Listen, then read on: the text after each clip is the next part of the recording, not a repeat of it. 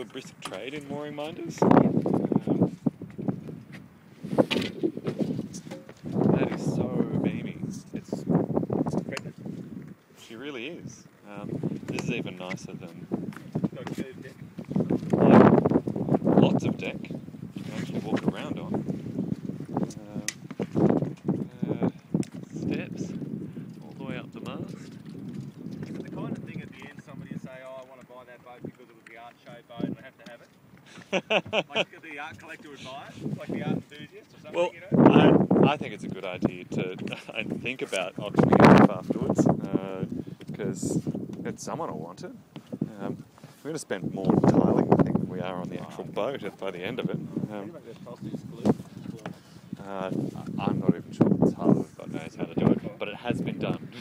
so uh, it's just a matter of, and it's been done by these artists before in Scotland. So um, this would be perfect. I can block this off and keep my generator up the front. We can take all the junk out of it, you don't want.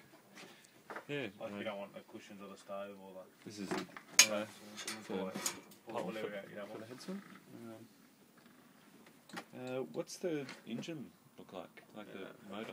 It's Oh, a it's, a it's a fiction engine in Fantasy Bay. There's Uh-huh. no- the There- engine, there- when we first saw this boat, the engine was here. It was a rusty ball, and we cut it out.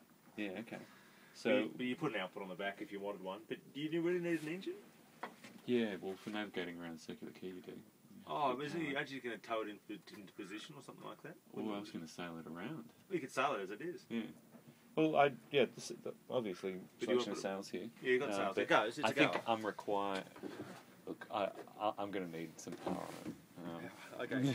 I thought it Um, just went in once. Was it an ongoing thing? Would it go? oh, it'll be for about three weeks. Um, Go in in and and out.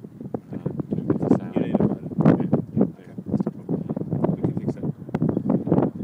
We can put a bracket off that.